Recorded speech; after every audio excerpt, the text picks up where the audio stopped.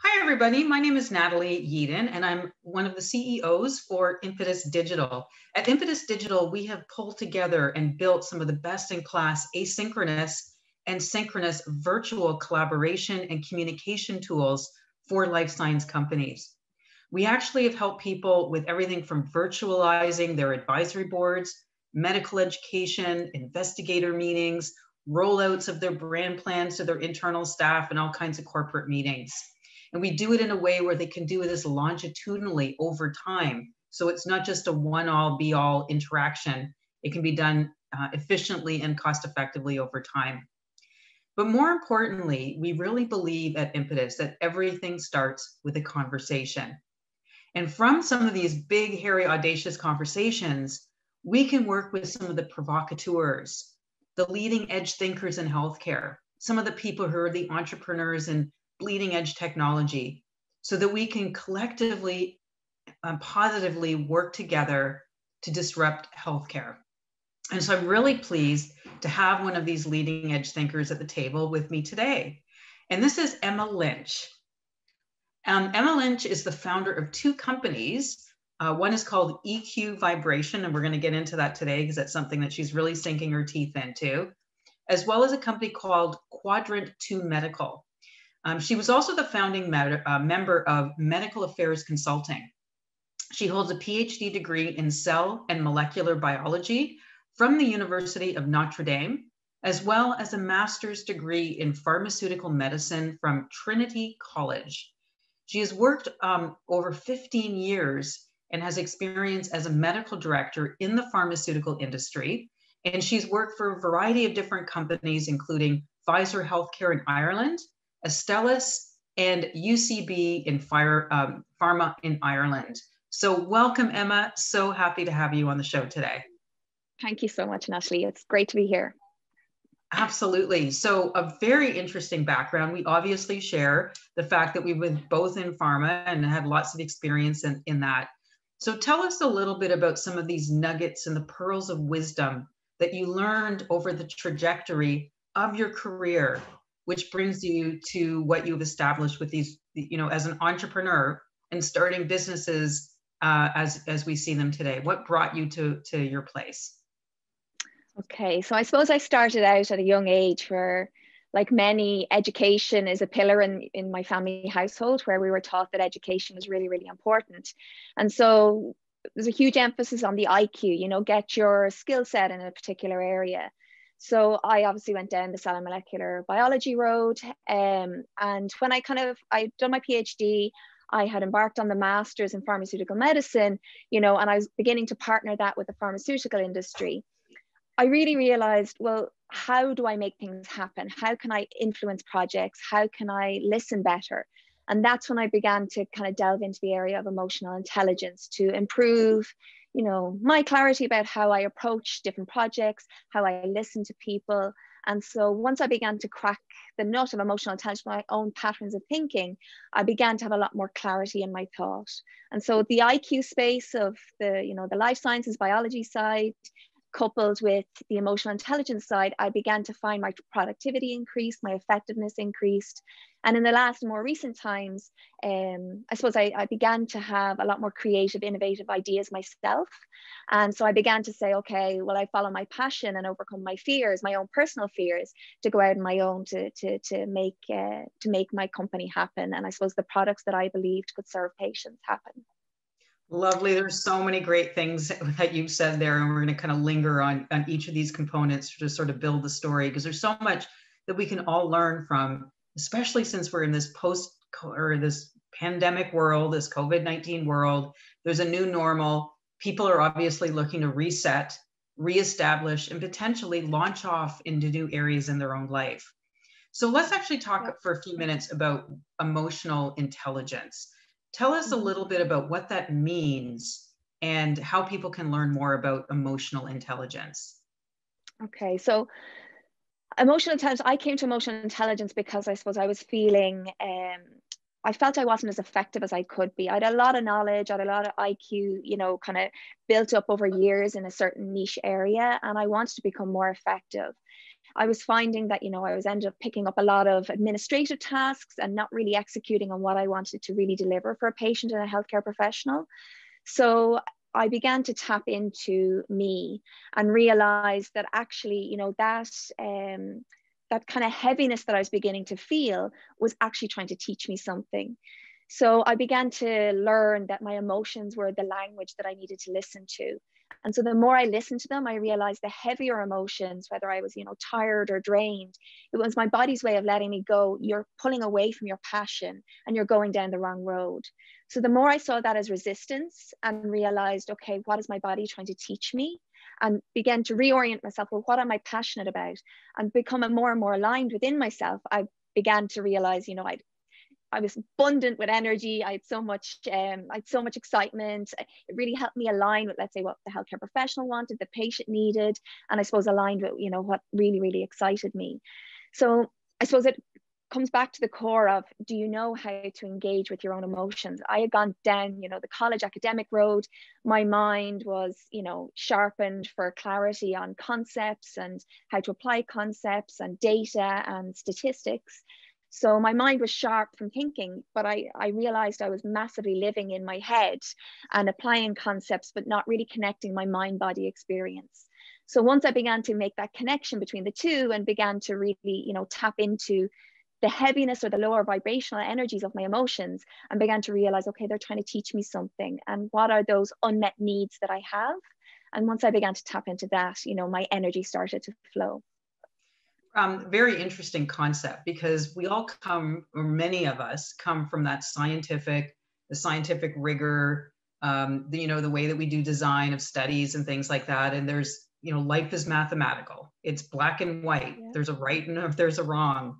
And so we've all been attuned, and also the mm-hmm. teaching and the medical education that's been applied at the healthcare and in the life sciences um, jurisdiction that's very much in tow with that. So it's the living in the head that you've talked about. And the concept of associating with your body feels very woo woo to a lot of people. Yeah. Now that a lot of people had an opportunity to work from home and you know there's more time to think um, what would you say to other people for example in the medical affairs medical science liaisons um, around how to explore what you mean by connecting with your body. Okay, so I suppose um, it's about identifying what are you feeling. So are you feeling tired? Are you feeling, you know, a heaviness? Are you feeling drained? And so if you have that feeling, you know, after you ask yourself, what is that feeling I'm experiencing? Ask yourself next, well, what is my unmet need? What do I need here? You know, do I need to feel passionate about something? Do I need clarity on my strategy? Do I, and once you connect emotionally with that energy, that heaviness of that energy, and you connect with your needs, once you identify that need, you get a flow of energy, of that tiredness, that heaviness, that energy that turns into momentum and it, it begins to connect with the need if the need if you've identified the right need now sometimes you'll kind of go oh i think i need clarity yeah it's clarity and two or three weeks later you might be like no I, I feel this resistance again. I suppose it's about your that resistance in your body is telling okay that that need is not the correct one at this time in this moment. So it's about okay well what else do i need? What are what am I, could be my other unmet needs and so as you kind of triage and over a course of weeks, you begin to identify more kind of clearly what those needs are. And when you click on that right need in that right moment, your momentum of that heaviness, that energy begins to flow. And so you begin to get excited about learning and getting that clarity, or, you know, if you have a need for need to be heard. You've a, you've a you know a new engaged energy that drives in to meet that need. And so your building blocks become your own building blocks that you begin to unravel in your own way. And so i suppose that's why in emotional intelligence you know it comes with a huge amount of judgment because you know emotions in the past are you know somebody's angry and they overreact. And that's typically what people see as emotion. Um but there's a, a, true mastery to your emotion if you really tune into yourself and realize that your emotions are energy and the energy is trying to direct you in the right way for you for your journey. And so once you connect with that right you know that unmet need um, the energy just transforms into momentum. A lot of people who will be listening to this may, you know, again, coming from a little bit more of a skeptical scientific perspective and say, uh, some individuals might be saying, you know, I'm so busy, uh, you know, I can't even remember what I had for breakfast. You know, I've got the kids going on and I'm trying to homeschool them and I've got, you know, a call with several physicians and a medical education event. How do you counsel people that you work in your consulting mm-hmm. business to find the perspective and to be able to allow oneself to listen to that so-called energy some people don't even really have the right lingo or language for that because they've been so disassociated and disconnected yeah. for many many many years so what would be some of the steps that you would take somebody through to sort of take them from that that paradigm of i'm so busy i can't even you know think to mm-hmm. taking resonance and understanding or feeling their vibrational energy okay. Yeah so i totally identify with the person you know who's overwhelmed and doesn't even identify with their emotions because i was once there. Um, and i suppose the first step is to say you know that you really you want you want something more you want something different. And so when somebody comes to me typically somebody's at that junction when they come to speak to me. And so I'll typically tap into their mind first because that's where they're used to being. And so if you look at all the studies around productivity and effectiveness of productivity, there it kind of works in a bell curve. So if you are overwhelmed and too busy, you end up in a drained, tired state and your productivity begins to fall off if you are not fully aligned with what you're doing or you're passionate about, it results in procrastination. So they're the two bottom pieces of the productivity curve. When you're fully aligned with what you're doing and you're not overtired, your effectiveness and productivity is the top of the bell curve. So if you really want to be effective and productive in your role, you really need to learn how to stay within that, you know, peak of the bell curve. So it's your emotions that, you know, guide you in that space. The earlier emotions are, are you passionate about what you do? Because if you're passionate, you won't procrastinate. And the other end is if you're overwhelmed and drained, or you're, you know, you're starting to show signs of, you know, illness or sickness, or, um, or you're just feeling overwhelmed all the time. It's really important for your role and your success in your career to come back into a, a zone of productivity and effectiveness. So I suppose normally when I talk about that bell curve, people start saying, okay, I, I now have a, you know, a carrot at the end of the stick to say, yes, I want to be productive. I want my career to progress. So they want to learn how to touch into those emotions to keep them within that productivity bell curve. Fantastic. It's so many cool things there and such an interesting approach. As many companies are looking for novel ways of engaging and training and um, and inspiring their staff. Um, this is a really interesting area. So I'm just curious if your consulting business or this area around the EQ vibration um, is something that companies are tapping into to look for ways of invigorating their medical affairs departments.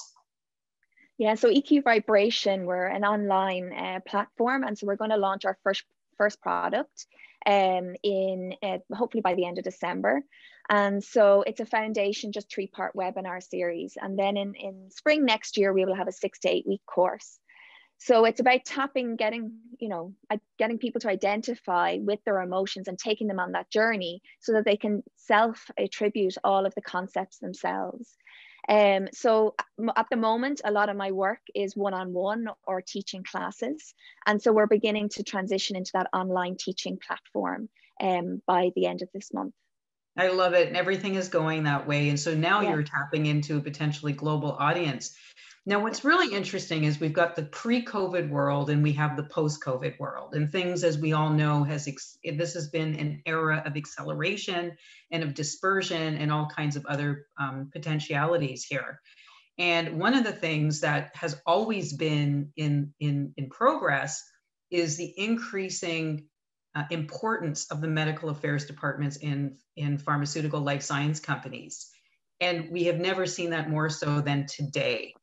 So, yeah. can you speak a little bit about what you have seen as being the evolution and the increasing dominance of the medical affairs departments in these companies?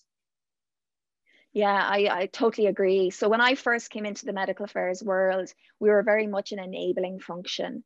Um, so it was everything commercial needed and we responded. So it became a very, um, I suppose, codependent relationship. They asked, we gave. And in recent times, um, that has transitioned now to where medical affairs, you know, globally within companies, is its independent, own independent silo within the organization that is forging forward to establish and gather insights out in the external healthcare setting to bring it back into the company to drive strategy. Um, so that transition for me as I was going through uh, different companies, you know, really required a different mindset from medical affairs staff to go from that kind of enabling position to a position where you are now a leader and thought leader in your space. And you now needed to manage the internal demands as well as drive that external face. So it's a really exciting time for medical affairs in the last number of years and the next number of years to come. Um, because of the depth of the knowledge that medical affairs holds, um, you know, you can really have great and amazing conversations out in the healthcare setting to understand what are the needs of the healthcare professional and of you know the nursing staff and of the patient in order to bring some really innovative uh, products or formulations to the market or new products to the market in order to you know drive company success and obviously patient uh, patient success. Emma you're doing an amazing job of leveraging the groundswell of momentum of the digitalization of the world that we live in today mm-hmm. and leveraging this for a global audience to educate people on what it is that you do and around the emotional intelligence associated with beingness and being your best self. And you have done this as a niche in the medical affairs or in the medical space. So how would you you know mention this or discuss this with either your clients or just people in medical affairs in general? Uh, curiosity and maybe some you know off offness uh, you know being you know pushing aside the digital and being a bit scared of it or there's some fears what would you say to people like that um, to inspire them to be able to start really working with their client base, the physicians, the nurses, allied healthcare providers, and leveraging technology? What would be some of the steps you would encourage them to take in order for them to get really comfortable with the technologies around them? Yeah, I suppose in the pharma world, um, typically we're slow to engage with technology. And I think now is the time where pharma are really starting to change that model. Um, and I think it's going to be really crucial to uh, pharma's, I suppose, been a really strong stakeholder in the conversation. Um, once you get a healthcare professional, I suppose, that wants to engage in a digital platform, it's about finding your tribe and so it's about finding that healthcare professional that wants to engage in that way. And once you begin to, you know, engage with thought leaders who want to act in this way, and as a pharmaceutical company, you engage with them at that place together, you can then begin to start the dialogue and others will come. So there's a huge amount of skepticism and you know people tend to like you know not like change and like stay where they are. But it's about meeting, understanding those people who want to lead from the front and who want to get involved. And it's about having the conversation with those people there and the others will come in time. And it's a really great opportunity for you know medical affairs, medical science liaisons to be able to understand that they have an opportunity today of doing a one mm-hmm. to many.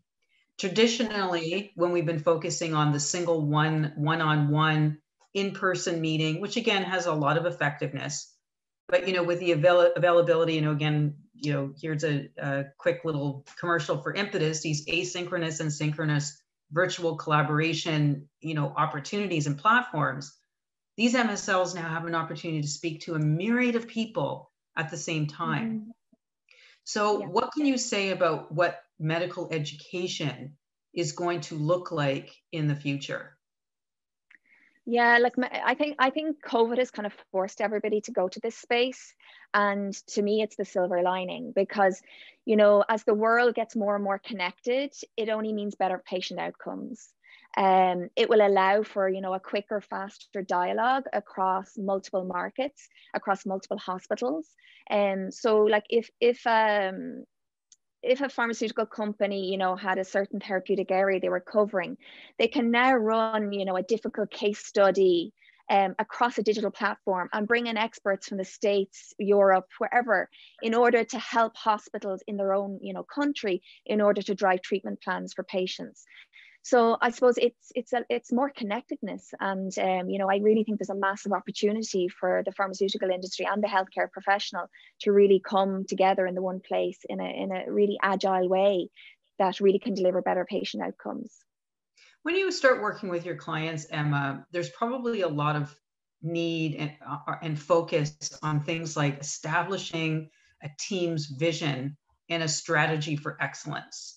What would be some of the nuggets that you share with teams when you discuss this as, as it relates specifically to this whole idea about being aware of your body and your feelings and your emotions?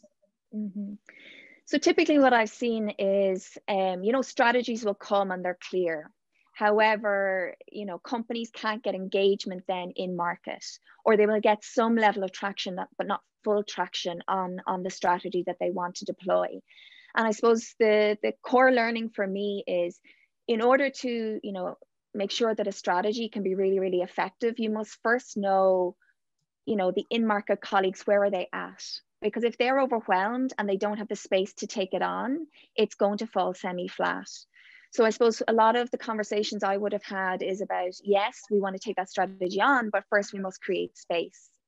And so in order to create space, you need to know where people are at. Are they overwhelmed? Are they, you know, how are they currently running their day? Um, and so to really understand the needs of the in of the in-market colleague and then about creating the space and then slotting in the needs of the strategy and the clarity of the strategy then that's the recipe for momentum and energy to really move in the right direction but typically what happens is strategy comes it's pushed um, and that connect step doesn't happen to create the space um, and so without that space being created, there's no place for the energy to go. The energy in market is heavy. There's more coming down, adds to the heaviness. And so we need to listen to that heaviness that the in-market colleagues are experiencing in order for that energy to be channeled into the right place to create space to allow strategy in to really drive forward. So, very interesting perspective, Emma, around approaching business and sales and conversation and influence from a emotional or a feeling place as opposed to from a concrete mathematical place.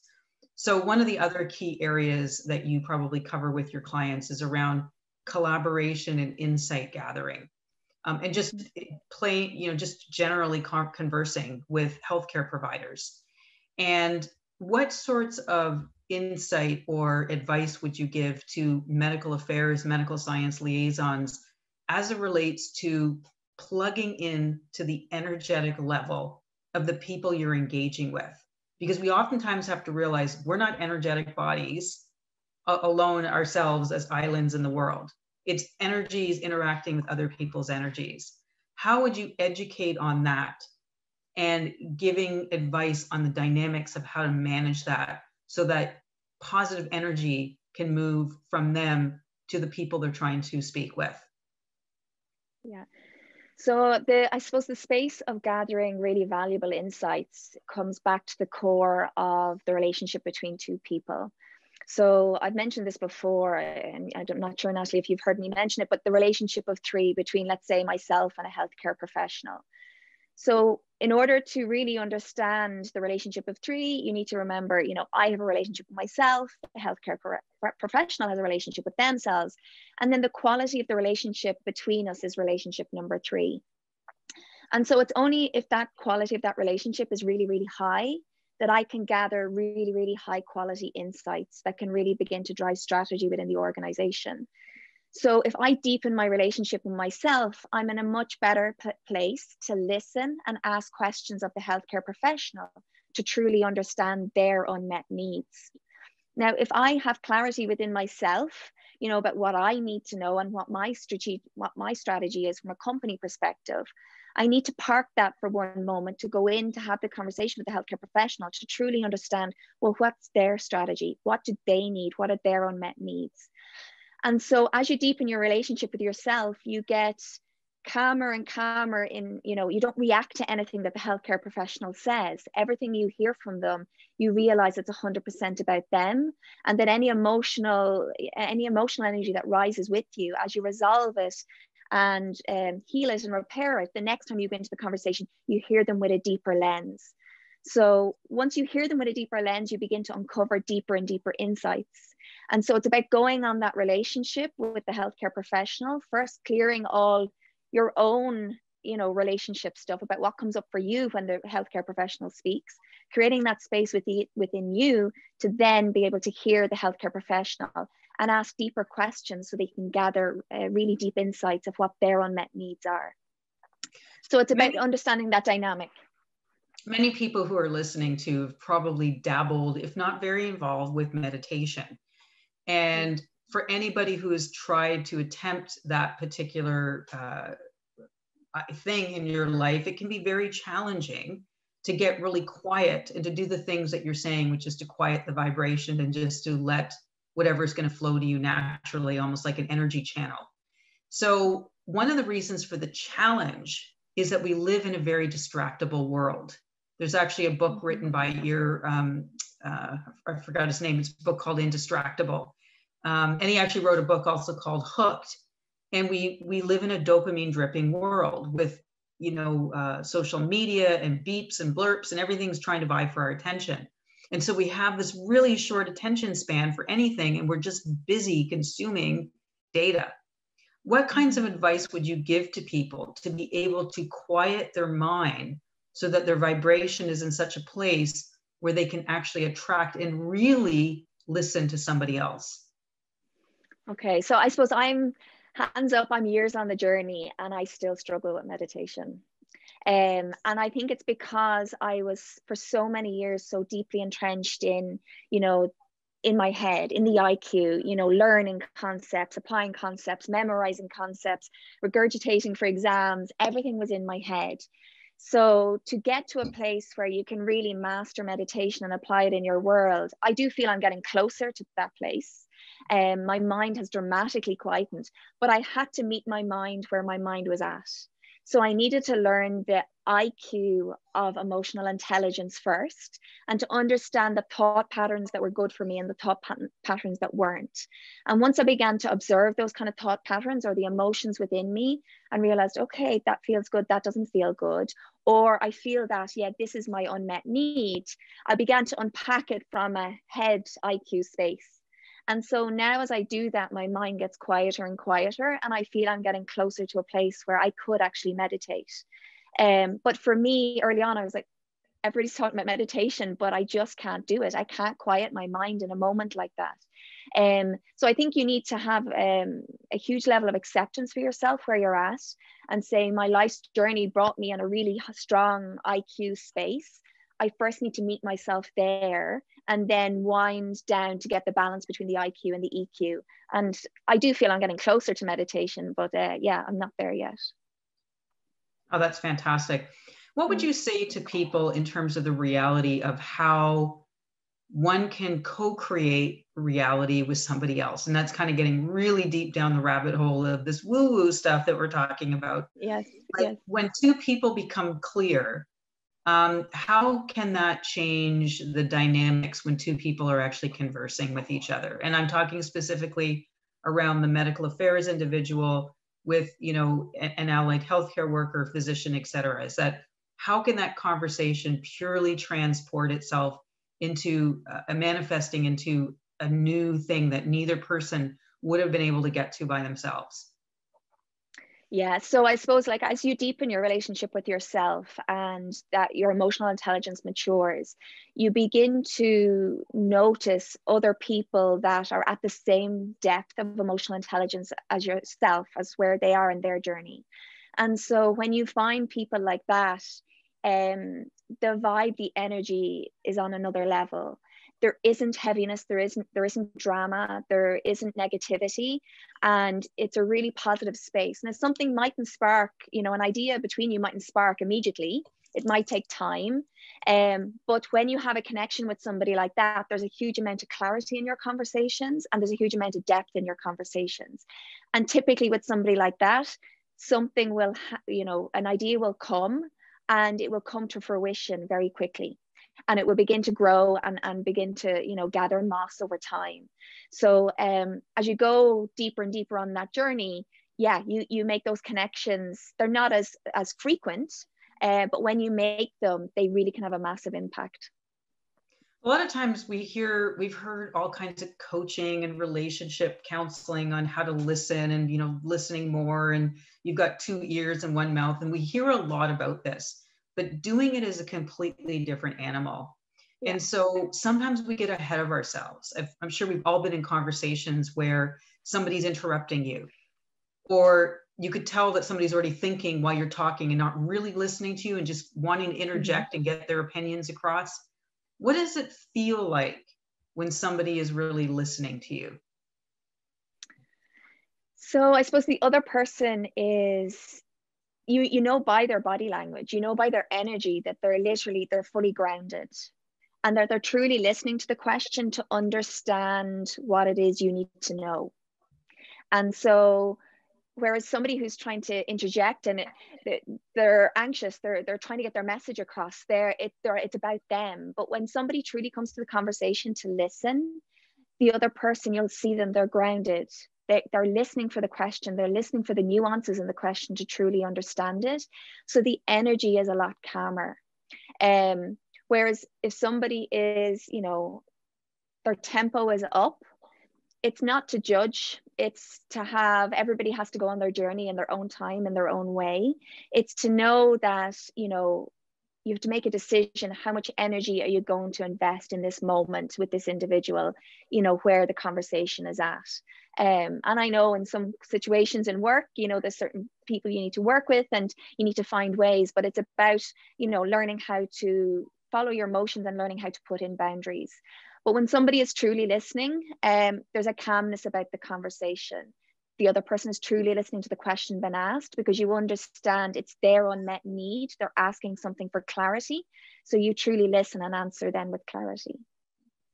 One of the things that I think is not an issue, but it has been historically uh, found in pharmaceutical companies are the metrics for measuring success. We obviously have different measurements for actual sales promotional teams. And certainly there's measurements as it relates to the medical science liaisons. What kinds of suggestions would you make for changing metrics? For example, we find effectiveness being in you know influence levels or engagement levels or certain things that you're fundamentally finding which is the the objectives of the organization which may not necessarily be in concert with what the person that you're speaking to, physician, nurse, whatever, their objectives are. If you were to, you know, wave a magic wand and speak to a series of pharmaceutical companies and reestablishing success metrics for the conveyance of medical information and foundational scientific information, what would that be? Okay, so yeah, so down through the last number of years, I've given this a lot of thought. And so for me, it's about number of insights gathered, but not only number of insights, because you know the quantitative number doesn't necessarily matter. It's about the impact of those insights. So did those insights influence, you know, a clinical trial design? Did those insights impact the design of a formulation? So it's about the impact of those insights. So initially with a team, you might need to set, you know, we need to get X number of calls. But for me, you could have one call with three amazing insights and you know what? That's an amazing job done because that one MSL found this person on the right vibration and they really connected and really drove, you know, an amazing conversation. But it takes a huge amount of energy for that one MSL to go in a really deep relationship with themselves and a lot of meeting lots of people to have that one connection that drove something amazing.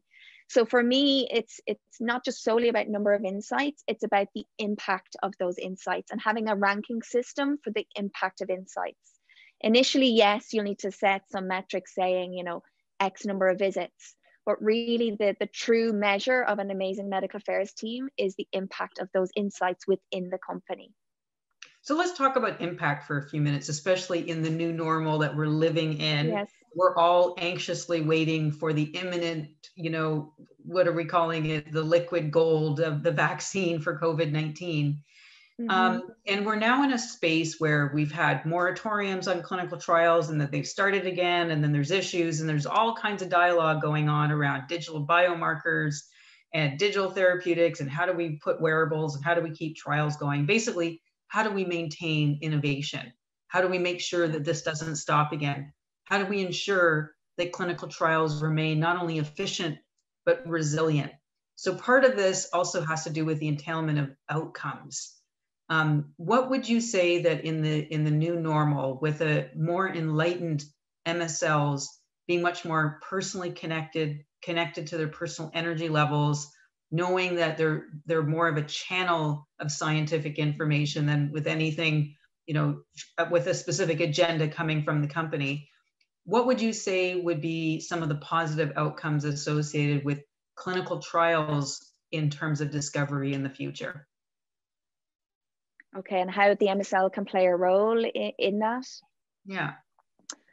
Okay, so like it all comes back to strategically what what is the focus so you know if if the company you know because there's so many ideas like for me covid what covid forced all the pharmaceutical companies to do was to forget about fear and just do and so it's the same in the msl world. Everybody's like oh but you know we won't get people on calls. We won't get people on forget about fear and just do. Make that phone call pick up the phone you know make sure you get those those um you know questions asked. Have conversations. Have conversations in the universe around the person that you're trying to contact. Really get to know the environment really really well. But in relation to clinical trials um I think there's a huge important conversation to make sure that we're factoring in the voice of the patient into those conversations. So for me, the role of the MSL needs to also ensure that the, the patient associations are included in the conversation and that we can understand the unmet needs from the healthcare perspective, understand the unmet needs from the patients themselves, and that really you can put that information together to really design a clinical trial that really will be next generation. Um, but it's making sure that you truly understand the, the unmet needs, that you can listen through all the noise and really, really identify the unmet needs that are really going to move the dial. Because COVID, I suppose, lifted the veil on we must do, we don't have time. So there was no, we need to have 10 meetings to make one decision. It was one meeting, one decision, move. So um, it really lifted the fear of, well, what's going to go wrong or the fear of failure and i and i really think that that's where the lesson is it's that emotional intelligence piece of people had to be courageous. They didn't have time to be fearful of the failure of something they might do. And so for msls i think they really need to carry that forward get out network in the environment and really understand the unmet needs so that you can bring that back into clinical trial design for for the for coming years. Absolutely. And it's really kind of interesting because when we talk about the the development of new discoveries and the development of new knowledge it used to take 50 years for something to come into fruition. I mean when we think about even the way the vaccines were developed for polio and for other sorts of uh, conditions they took many many years. And we mm-hmm. see that covid-19 literally took a year. We also find the same thing with with scientific information. It's literally doubling every seven, 74 days and so the question comes down to is what sorts of skills, not only just having the ability to sort of stay quiet and be able to listen and to attract this information, but what other skills are required by the MSL to be able to absorb this information really quickly and to become the conduit that they need to be in order to educate the world. I mean, I'll be honest with you, sort of setting the set, the this yeah. uh, the, the world. I've never seen so much mass media and general public interested in science and pharmaceutical companies until we've actually had COVID-19. You're having news channels talking about, you know, the mechanisms of action and the efficacy rates and all kinds of things. So never before have we had such an appetite for clinical and scientific information. But so much of it's developing so quickly. What sorts of skills do the MSLs need to be able to do without having to become a data scientist? Yeah, so I suppose like from an MSL's perspective, they need to understand what's trending. It comes back to clarity of focus. So what is what is the area that you're going to hone in, hone in on and be an expert on? And that you stay focused all of the time each week, setting aside your time to really become a master in that space. Everything else is about trends. You just are aware of trends and you know enough to, to hold a conversation but you're not a master in it. So you need to choose which area is your mastery and everything else is a high level because you can't be a master of everything.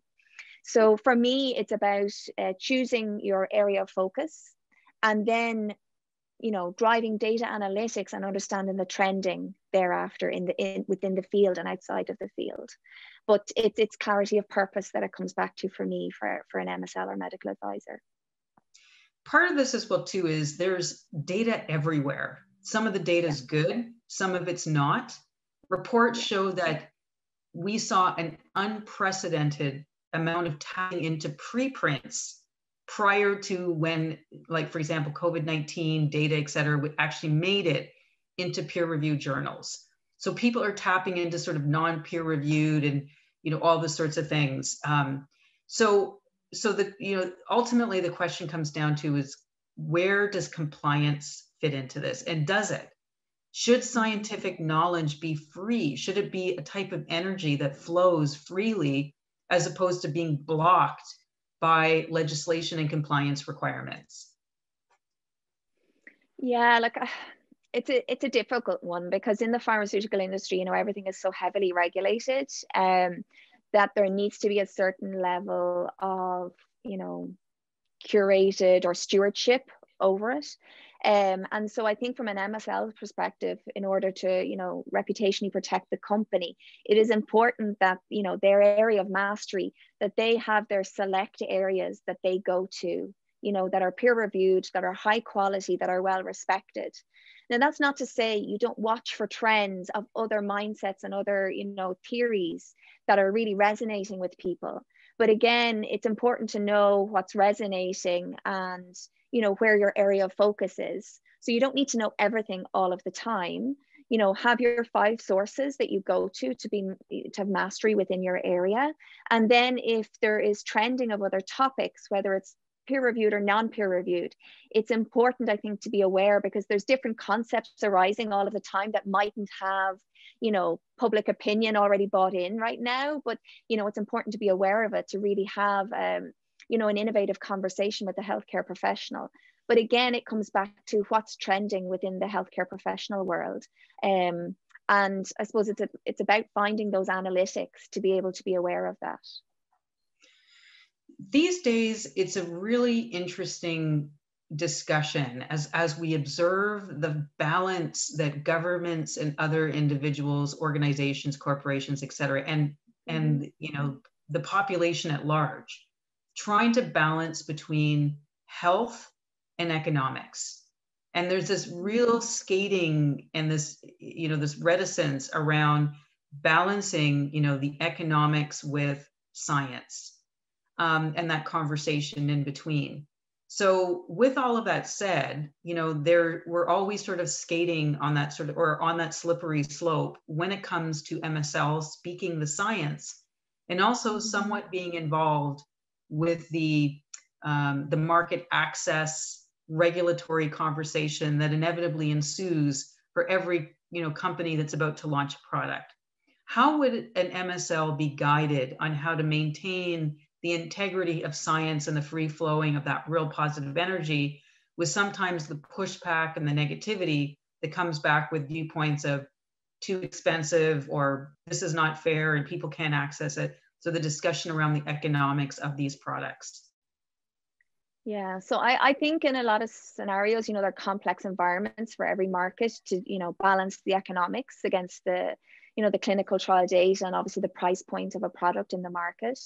Um, for the most part, a healthcare professional in a conversation, their unmet need is to be heard. And so there is no perfect answer in every market as to, you know, what is the best way for an MSL to navigate that conversation. In a lot of cases, you just need to allow the healthcare professional to be heard and to acknowledge you know their frustrations and you know you can also more often than not identify with their frustrations and you know that, that it is a fine balance and that there are it is multi-stakeholder process in order to get the right pri- price point so that there is um, you know a, a an economically viable business to drive clinical trials and innovation, you know, for generations to come. Um, so I found, you know, in, in a lot of those conversations, it's just about giving a listening ear to healthcare professional to have that conversation. The MSL won't necessarily have an answer unless there are more economic studies done in the market that you know you can provide. But more often than not, there isn't. Um, and it's about allowing the conversation just to flow and to hear each other. That's so, so essential. I love that. Um, we talked a little bit about the patient and the patient becoming a really important part of the equation. We've talked a lot about patient centricity for many, many years, but I think never before, I think it's an unprecedented, the, the importance of involving patients. We talked a little earlier about clinical trials, but even in the future around you know the, the ambient biometrics that are going to be entered in the general management of patients' conditions in general if they're not going to be able to go uh, as as as often to the doctor's office for doing you know measurements and for assessments. So the patient is going to have to become very attuned and very much part of the healthcare conversation um, in the future. Where is the medical affairs MSL's play in that conversation? Yeah, so right now, I, I think the position for the MSL or medical advisor is to be in contact with the patient association so that they understand the whole ecosystem of the patient, the healthcare professional, and also obviously the nursing staff, depending if they're administering the product. Um, for me, yes, it's a huge, there's a huge space for the patient to move into because typically it's like, oh, the poor patient, and it's a, it's a victim mindset for the patient. And to allow the space for the patient to really step into their own and have a voice, I think is crucial. But in a lot of cases, um, it's going to take time for the, the patient to really hone their voice, to really have an effective conversation because they've been coming from a, you know, um, a parenting position of the healthcare system looks after me and I am in a victim's, you know, mindset for you to say you're going to take care of me. So I think that's going to be an evolving uh, mindset over the next number of years. And so as I as it's in that infancy, as it grows, I think the best place for the medical advisor or the MSL to be is in contact with the patient association, where the patient, patient association is re really refining, listening to and refining the voice of, of the patient.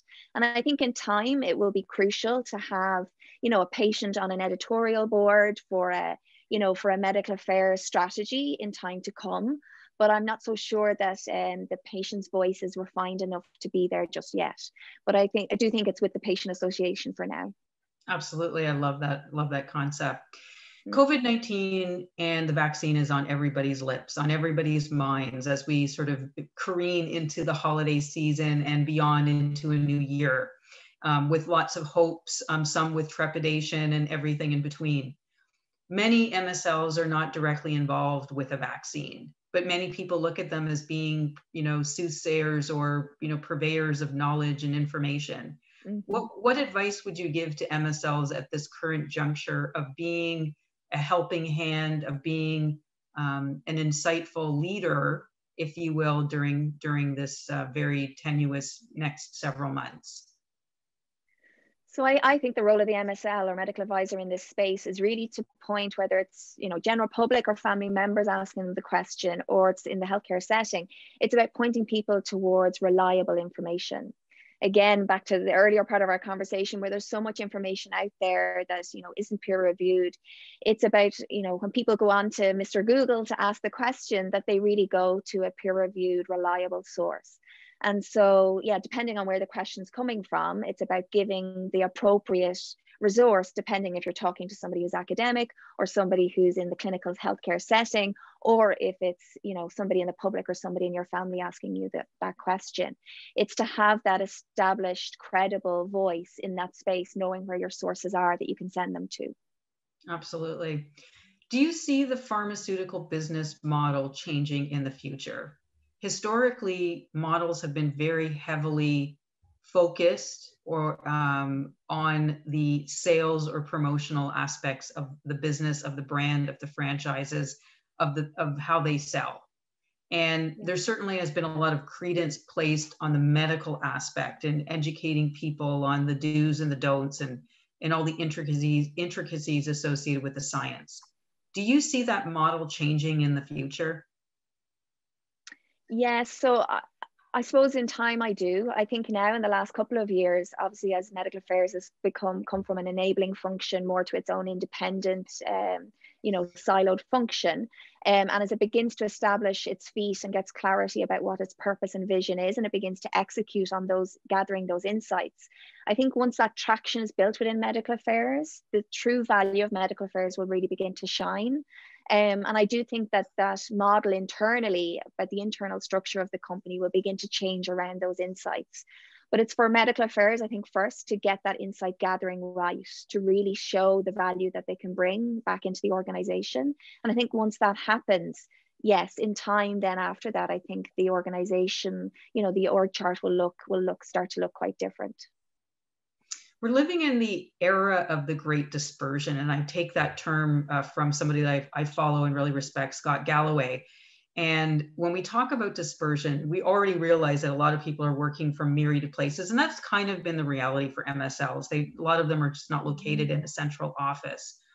But with this great dispersion also comes the potential for the democratization for everybody to have their own business, just like yourself. PhD educated, working for big pharma, decided to go out and follow one's passion and start their own entrepreneurial endeavor. Is this going to become a new reality for a lot of MSLs? And if so, what would that look like? Um, yeah, so I suppose, yeah, it's a difficult one to answer. And the reason, and maybe just to paint a little bit more on that, is could the future of MSLs potentially be not just representing the products for one company? Could they eventually start an entrepreneurial where they become a free agent?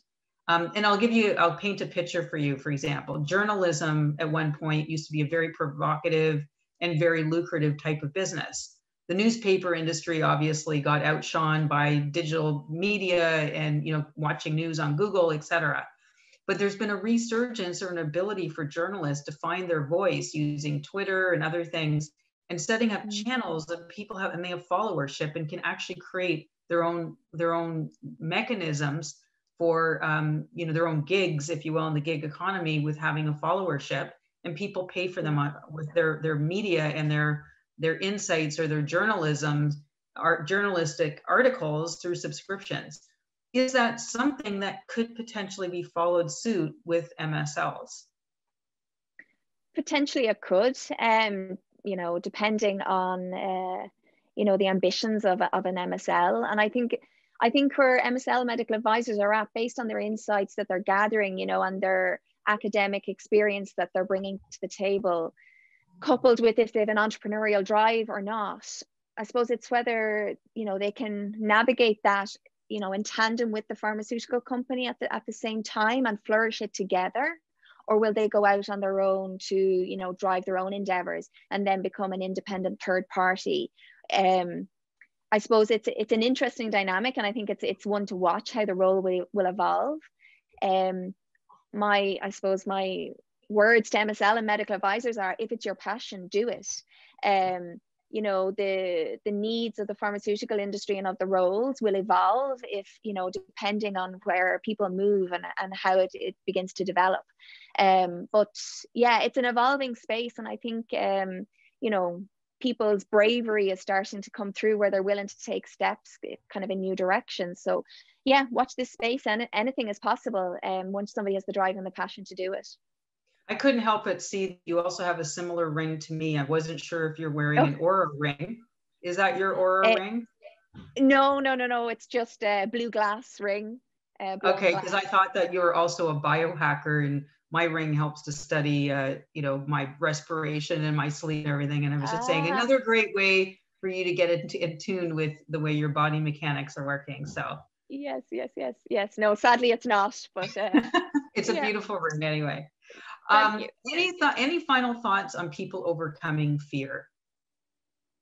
Okay, so I suppose the first step is to be aware that you are fearful. So a lot of people don't even know that they are fearful. They're making decisions on autopilot. And so if you feel that there's resistance in your body, or if you feel you're kind of nothing new is happening in your world, or nothing innovative is happening in your job, you need to stop and say there must be fear somewhere and it's about connecting back to it. Uh, because a lot of people say i'm not fearful but and i suppose i was once in that place no i'm not fearful but i didn't realize how much subconscious fear i had until i began to say i wanted to do something different because i was like you know my everyday is not as impactful as i want it to be.